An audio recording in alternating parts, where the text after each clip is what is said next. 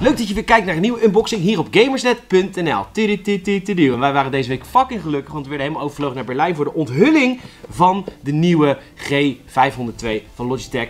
En dat is eigenlijk een beetje de fan-favorite muis van Logitech, maar deze heeft een nieuwe subtitel en die heet Lightspeed. En dat kan maar één ding betekenen, hij is draadloos. En nou zag ik al in de comments op gamersnet.nl van super vette muis, enige nadeel, hij is draadloos. Maar ja, daar zitten ze bij Logitech natuurlijk ook al jaren tegen aan te hikken. En ze zeggen nu de oplossing te hebben gevonden dat hij net zo snel, al dan niet sneller reageert dan een bedraden muis. Ga ik geen uh, oordeel over vellen, want dat komt allemaal later in Gamers Gear. Gaan we alles testen, gaan we alles uh, uitzoeken of dat echt zo werkt.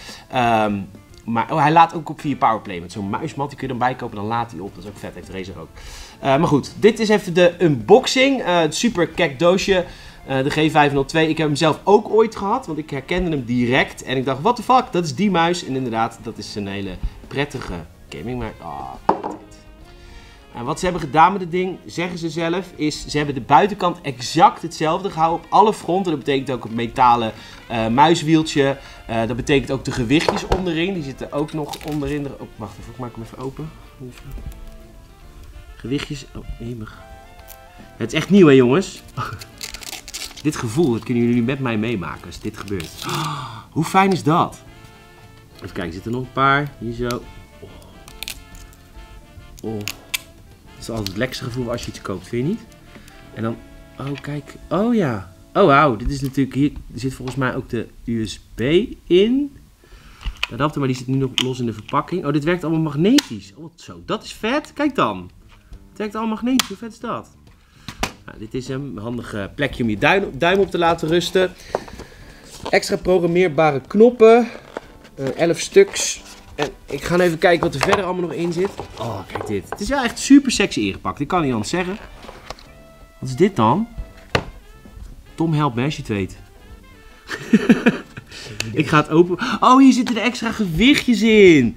Hier heb je sowieso de receiver voor je in je PC. Dat is al wel tof. En hier heb je allemaal gewichtjes van 4 gram en van 2 gram. En die kun je dan, als het goed is, hier erbij plaatsen of ergens...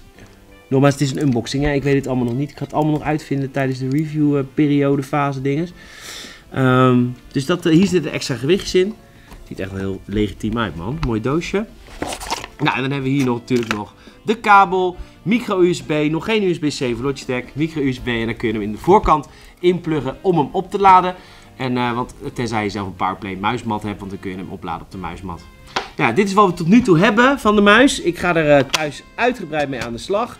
En um, heel snel krijg je dan ook een Gameset Gear te zien. En dan gaan we echt ondervinden of die met al die RGB functies en dat soort shit echt daadwerkelijk net zo snel reageert. Zonder draad als een bedraden muis. Binnenkort bij Gameset Gear. Dit was een nieuwe unboxing hier op Gameset.nl. Super leuk dat je hebt gekeken. Laat even weten in de reactie wat je ervan vindt. En uh, wat je nog zou willen dat wij unboxen. Misschien heb je al een vet idee. Ook wil weten wat dat is. En ik wil weten hoe dat eruit ziet. Gaan wij misschien wel even een mail sturen naar een publisher. Om het even aan ons op te sturen. Laat het weten in de reacties. Bedankt voor het kijken. Tot snel. Tot snel, snap je? Super snel. Ik snap niet zo goed de, haat tegen draadloze muis. Snap jij dat? Dat een draadloze muis op zich als je shooter speelt wel lekker. Want je kan nooit dat, dat je, snap je, dat je tegengehouden wordt ergens. Dat hij ergens achterhaakt. Je kan overal heen zwiepen. Vooral Tom, die speelt met een hele lage DPI. Dus je moet helemaal van links naar rechts op zijn muismat. Hij heeft ook zo'n muismat. Want als je met Overwatch een beetje wil draaien, dan moet je echt zo'n draai maken. Het is echt super onhandig met een bedraden muis. Tom, deze is echt ideaal voor jou. Lang verhaal kort, ik uh, heb er wel zin in. lang verhaal heel lang, wil ik eigenlijk.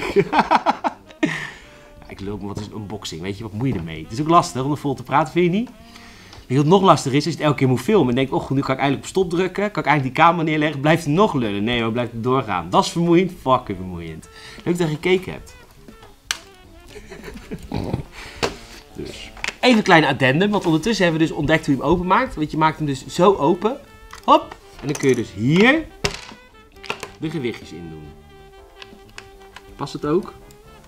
Maar dat hebben we dan weer niet onderzocht of het past. nee, dat past. Dat moet passen. Kijk, kun je hier in.